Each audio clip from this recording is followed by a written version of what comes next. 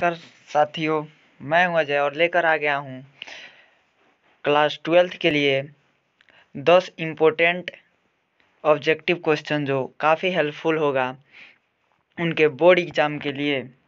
तो चलिए आज का सेट वन है यह आप जितने भी क्वेश्चन हैं, सब हम लेकर आए हैं। तत्वों के निष्कर्षण के सामान्य सिद्धांत से। तो चलिए देख लेते हैं, दस क्वेश्चन है। और इस चैनल को कर दीजिए subscribe math by master ji को। और मैं सीरीज़ देने वाला हूँ पूरा एक महीने तक आपके केमिस्ट्री के ऑब्जेक्टिव क्वेश्चनों का। और साथ ही एक क्वेश्चन आप लोग के लिए भी लेकर आया हूँ, जिसका आंसर आप लोग के करने होंगे कमेंट बॉक्स में।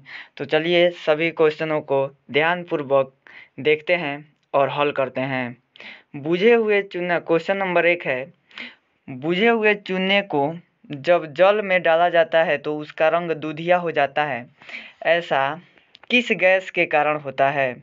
तो यह आपका ऑप्शन नंबर ए है ओ टू ऑक्सीजन के कारण। ऑप्शन नंबर बी है, कार्बन मोनोऑक्साइड के कारण। ऑप्शन नंबर सी है, कार्बन डाइऑक्साइड के कारण। ऑप्शन नंबर डी है आपका, क्लोरीन के कारण।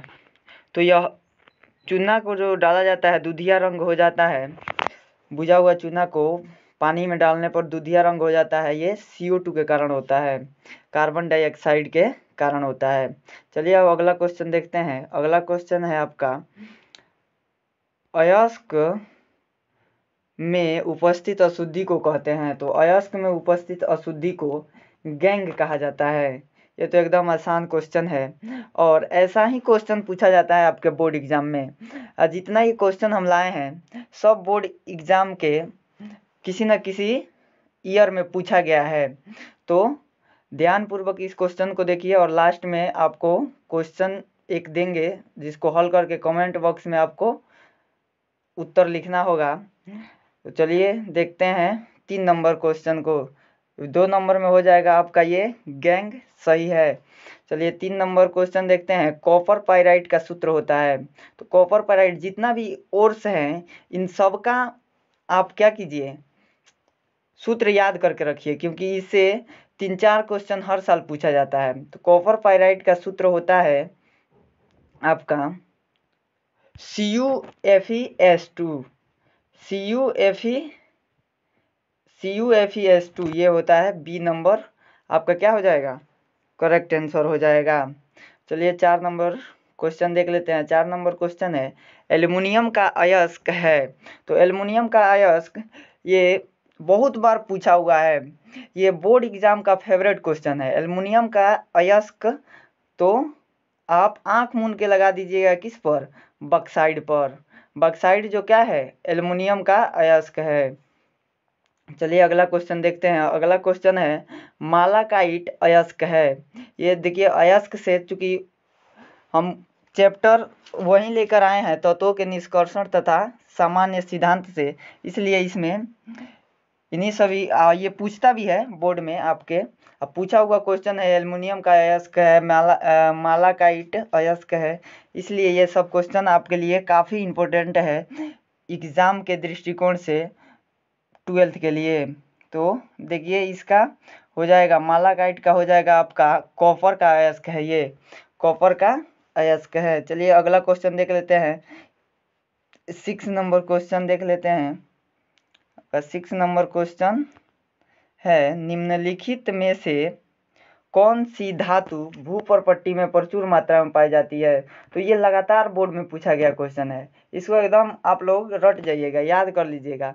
वैसे सब क्वेश्चन इंपॉर्टेंट है, इसको ध्यान से। और क्वेश्चन चूँकि मैं दस ही लेकर आया हूँ, आप लोग कहिएगा तो और अधिक क्वेश्चन मैं लेकर आऊँगा। दस क्वेश्चन लेकर आया हूँ। आसानी से आपको याद हो जाएगा।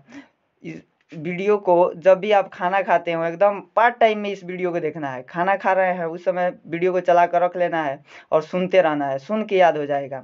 निम्नलिखित में से छः नंबर क्वेश्चन निम्नलिखित में से कौन सी धातु भू प्रॉपर्टी में प्रचुर प्रचुरता से पाई जाती है? तो यह धातु है आपका एल्युमिनियम।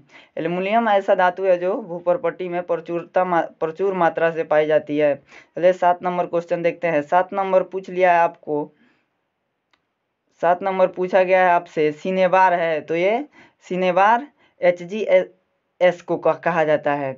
ये मरकरी का एक अयस्क है, इसी को सिनेबार कहा जाता है। मरकरी का अयस्क है एच जी एस इसी को सिनेबार कहा जाता है। यह बोर्ड एग्ज़ाम में पूछा भी है।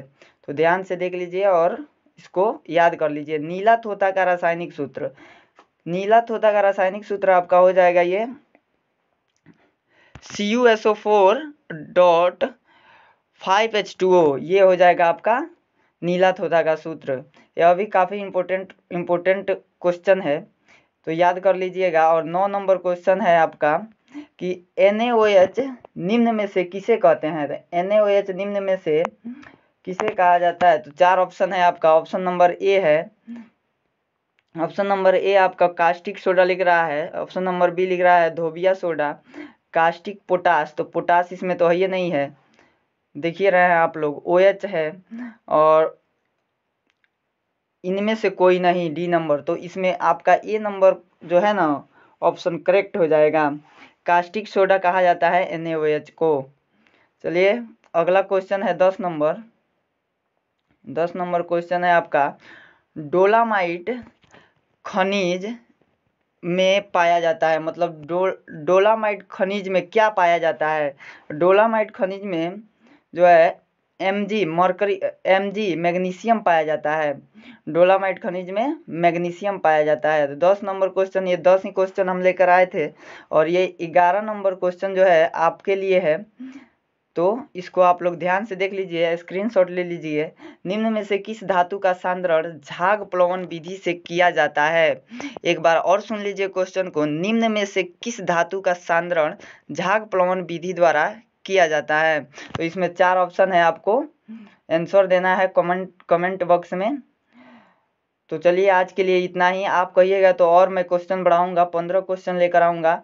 और प्रतिदिन मैं आपको एक सेट दूँगा।